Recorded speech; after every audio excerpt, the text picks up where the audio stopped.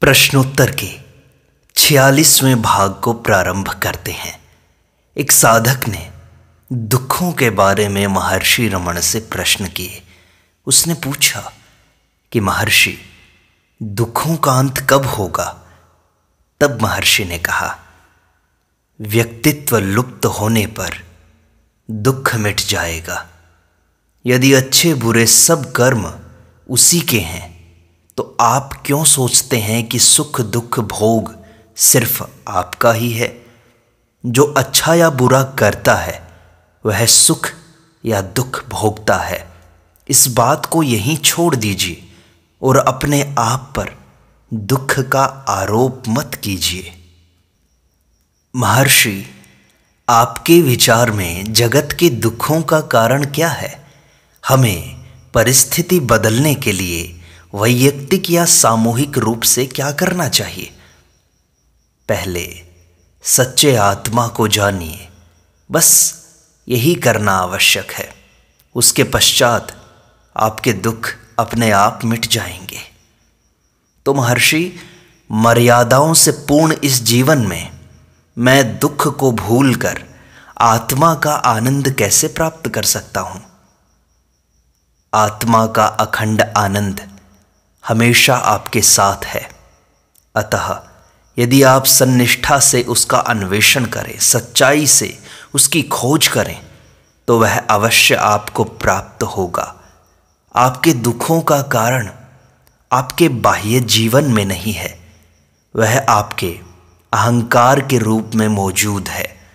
आप अपने ऊपर स्वयं मर्यादाओं का आरोप करते हैं और तब उनसे परे होने के लिए निष्फल प्रयत्न करते हैं। सारे दुख अहंकार के कारण उत्पन्न होते हैं। उसके साथ आपकी सब परेशानियाँ आती हैं। वास्तव में दुख का कारण आपके अंदर है। उसका बाह्य जीवन की घटनाओं पर आरोप करने से आपको क्या लाभ मिलता है? तथा आपसे भिन्न बाह्य पदार्थों से आपको क्या सुख मिलने वाला है? यदि कभी मिल भी जाए तो कितनी देर रहने वाला है? यदि आप अहंकार का इनकार करें और अवगणना करके उसे जला दें, हटा दें, नष्ट कर दें तो आप मुक्त हो जाएँगे। लेकिन यदि आप अहंकार को स्वीकार करेंगे तो वह आप पर मर्यादाएँ लाद देगा और उनसे परे होने के मिथ्या संघर्ष में आपको डाल देगा। आप वस्तुतः जो हैं, वह अर्थात आत्मा ही बने रहना, उस अखंड आनंद को प्राप्त करने का एकमात्र उपाय है, जो हमेशा आपका है। महर्षि, यदि वस्तुतः बंधन या मोक्ष नहीं है तो इस सुख दुख के सच्चे अनुभव का कारण क्या है? ये सुख दुख तब सच्चे लगते हैं जब मनुष्य अपने वास्तविक स्वरूप से हट जाता है। इनका वास्तव में सच्चा अस्तित्व नहीं है। महर्षि, क्या जगत की रचना सुख दुख के अनुभव के लिए हुई थी क्या? सृजन अच्छा या बुरा नहीं होता। वह जैसा है, वैसा है। लेकिन मनुष्य का मन उस पर सब प्रकार के अर्थों का आरोप करता है, क्योंकि वह पदार्थों को अपनी संकुचित दृष्टि से देखता है और अपने ही स्वार्थ के अनुरूप उनको ढालना या बदलना चाहता है। स्त्री केवल अपने आप में स्त्री है, लेकिन एक मनुष्य, उसे माँ दूसरा बहन, तीसरा चाची इत्यादि कहता है, मनुष्य, स्त्री से राग, सांप का तिरस्कार और रास्ते के पास वाले पत्थरों की एवं उगे हुए घास की उपेक्षा करता है। ये मूल्यांकन जगत के सारे दुखों का कारण है। सृष्टि पीपल के पेड़ जैसी है। पक्षी उसके फल खाने के लिए या उसकी शाखाओं में आश्रय पाने के लिए आते हैं। मनुष्य उसकी छाया में शीतलता प्राप्त करते हैं, लेकिन कुछ लोग उस पर रस्सी बांधकर जान भी तो दे देते हैं। फिर भी वृक्ष अपना शांत जीवन जीना जारी रखता है। वह अपने विभिन्न उपयोगों के प्रति उदासीन एवं अनजान रहता है। यह तो मनुष्य का मन है जो अपनी परेशानियाँ खुद उत्पन्न करता है और तब सहायता के लिए चिल्लाता है। क्या ईश्वर पक्षपाती हो सकता है जो एक मनुष्य को शांति और दूसरे को शोक देता है? सृष्टि में सबके लिए स्थान है, लेकिन मनुष्य अच्छे, स्वस्थ एवं सुंदर पदार्थों को देखकर भी अनदेखा कर देता है और उस भूखे आदमी की तरह फरियाद करता है जो स्वादिष्ट भोजन के पास बैठकर, हाथ पसार कर खाने के बजाय विलाप करता है। यह किसका दोष है? ईश्वर का या मनुष्य का? महर्षि, यदि ईश्वर सब कुछ है तो मनुष्य अपने कर्मों से क्यों दुखी होता है? जिनके कारण वह दुखी होता है, क्या वे कर्म ईश्वर द्वारा प्रेरित नहीं है? देखो जो व्यक्ति स्वयं को कर्ता मानता है, वह दुखी होता है। जो ईश्वर को समर्पण कर देता है, जो स्वयं को कर्ता नहीं मानता, वह कभी भी सुख दुख के पुनर्जन्म के चक्र में नहीं पड़ता। महर्षि, लेकिन कर्म ईश्वर प्रेरित हैं और मनुष्य तो निमित्त मात्र है। दुखी होने पर ही मनुष्य इस तर्क का आश्रय लेता है। सुख के अनुभव के समय नहीं लेता। यदि यह निश्चय हमेशा बना रहे तो दुख नहीं होगा। महर्षि आप कहते हैं कि दुख का अस्तित्व नहीं है। मैं तो सर्वत्र, सब जगह दुख ही दुख देखता हूँ।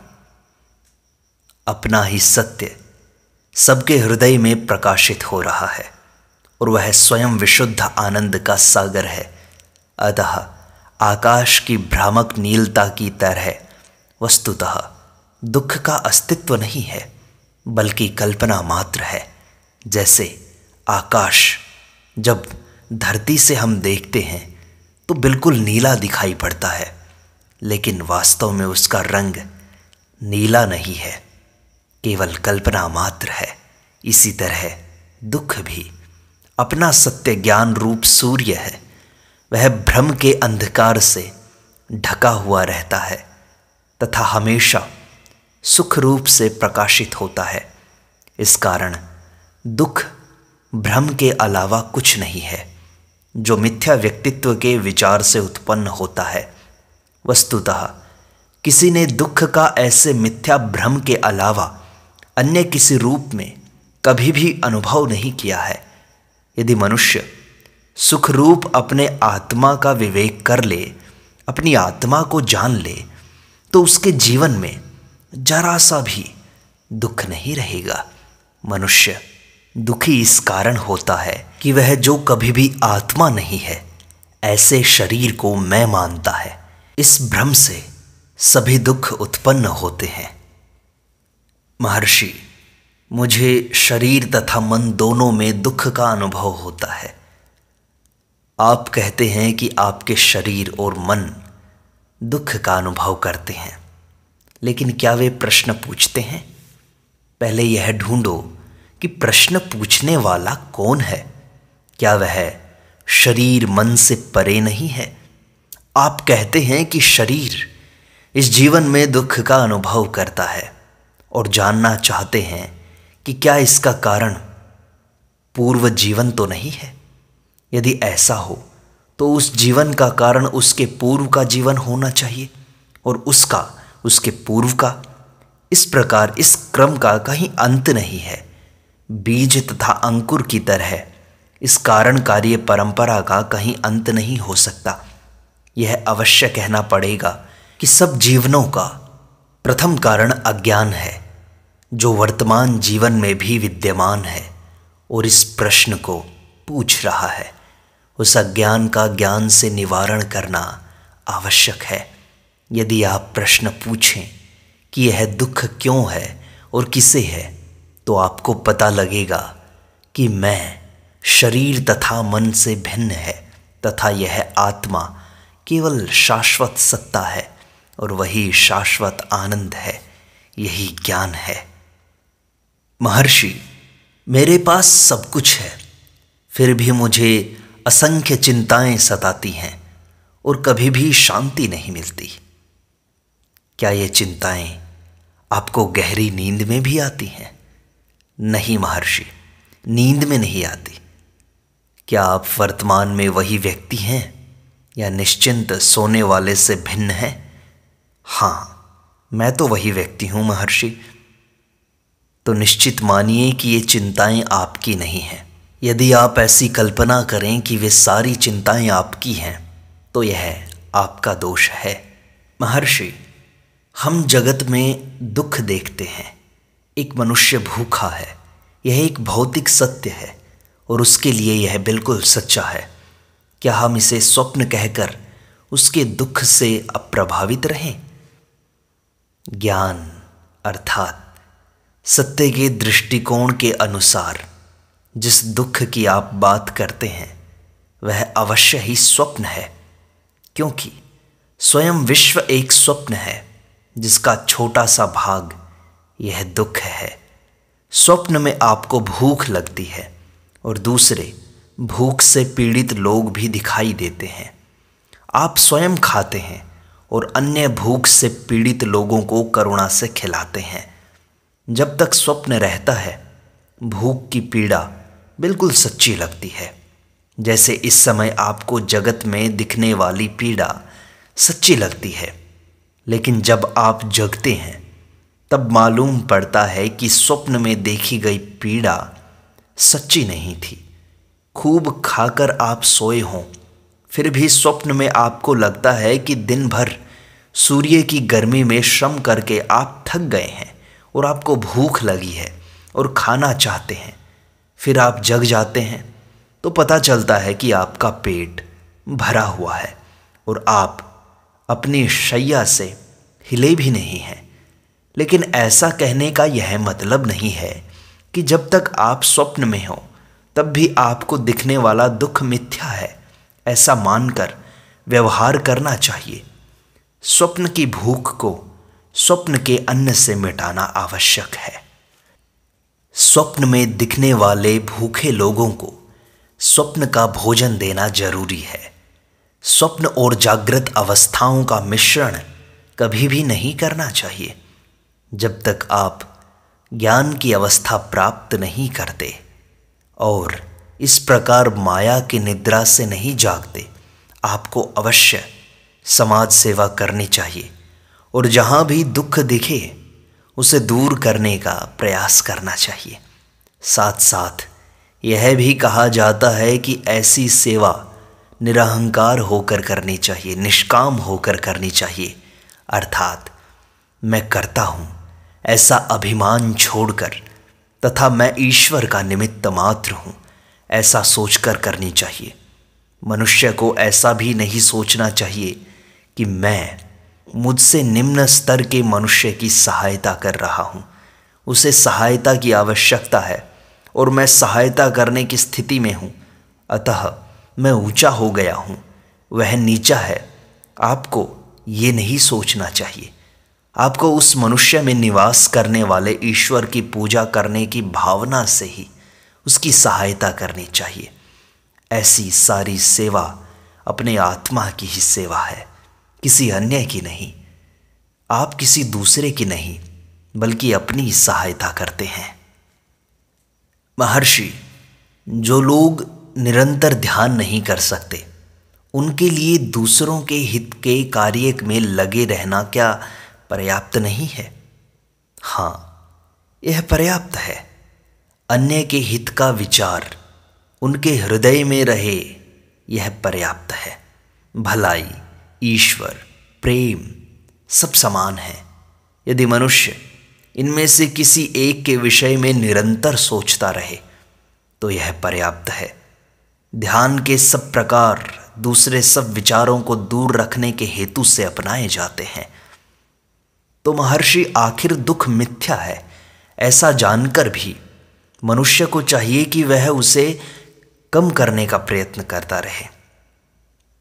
भूत या भविष्य काल में कभी भी ऐसी स्थिति नहीं होती जब सभी लोग समान रूप से सुखी, संपन्न, ज्ञानी तथा स्वस्थ हों। हकीकत में इन शब्दों का, उनसे विरोधी भावों के अस्तित्व के सिवा कोई अर्थ नहीं है। लेकिन इसका यह मतलब नहीं कि आप आपसे अधिक दुखी या कम सुखी किसी से मिलें तो करुणा से उसके दुख को, हर संभव उपाय से दूर करने का प्रयत्न आपको नहीं करना चाहिए। आपको प्रयत्न करना चाहिए। इसके विरुद्ध आपको सबसे प्रेम करना चाहिए और सबकी सहायता करनी चाहिए, क्योंकि सिर्फ़ इस प्रकार आप स्वयं की सहायता कर सकते हैं। जब आप अपने साथी मनुष्य या प्राणी के दुख को कम करने का प्रयत्न करते हैं तब आपके ऐसे प्रयत्न सफल हों या ना हों, आप स्वयं आध्यात्मिक दृष्टि से अवश्य विकसित हो रहे होते हैं। विशेषतया जब आप निस्वार्थ भाव से, अर्थात निरहंकार भाव से, मैं यह कर रहा हूँ, ऐसे भाव से नहीं, बल्कि ईश्वर मुझे ऐसी सेवा का निमित्त बना रहे हैं। ईश्वर ही करता है। मैं तो साधन मात्र हूँ। ऐसे भाव से सेवा कर रहे होते हैं। यदि कोई यह सत्य जानता है कि वह जो कुछ दूसरों को देता है, वह वस्तुतः स्वयं को ही देता है तो कौन दूसरों को देने का अच्छा कार्य करके सद्गुणी नहीं बनेगा? चूँकि प्रत्येक प्राणी अपनी आत्मा है। कोई भी, किसी के भी प्रति जो कुछ भी करता है वह केवल अपने आप के प्रति ही किया जा रहा है। महर्षि, दुनिया में अकाल, रोग तथा व्यापक विनाश करने वाली विपत्तियाँ इत्यादि भयंकर घटनाएँ होती हैं। इनका कारण क्या है? यह सब किसे दिखाई देता है? महर्षि, मुझे दिखाई देता है। गहरी नींद में आप जगत तथा उसकी विपत्तियों के बारे में नहीं सोचते। लेकिन अब आप जागकर सोच रहे हैं। उस अवस्था में रहिए जिसमें आप इनसे व्यथित नहीं होते, दुखी नहीं होते। अर्थात, जब आप जगत के विषय में नहीं जान रहे होते तो आपको उसकी विपत्तियों से पीड़ा नहीं होती। जब आप नींद की तरह आत्मनिष्ठ रहेंगे तो जगत और उसके दुख का आप पर कोई असर नहीं रहेगा। इसलिए दृष्टि अंदर कीजिए और आत्मा को देखिए। तब जगत और उसके दुखों का अंत होगा। लेकिन महर्षि, यह तो स्वार्थ हुआ ना? देखो, जगत बाहर नहीं है। चूँकि आप स्वयं को गलती से शरीर के साथ एक रूप मानते हैं, आप जगत को बाहर देखते हैं और उसका दुख भी आपको दिखाई देता है। लेकिन वे सत्य नहीं है। सत्य का अन्वेषण कीजिए और इस असत्य संवेदना से मुक्त हो जाइए। महर्षि बड़े बड़े समाज सेवक और महान लोग भी जगत के दुखों के प्रश्न का हल नहीं कर पा रहे हैं।